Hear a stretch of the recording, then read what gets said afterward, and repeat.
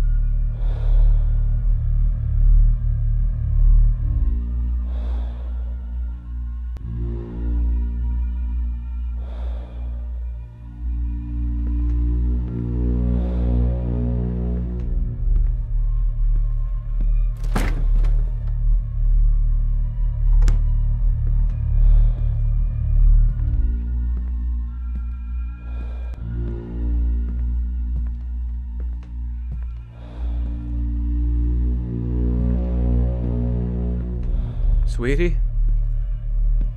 Are you sleeping?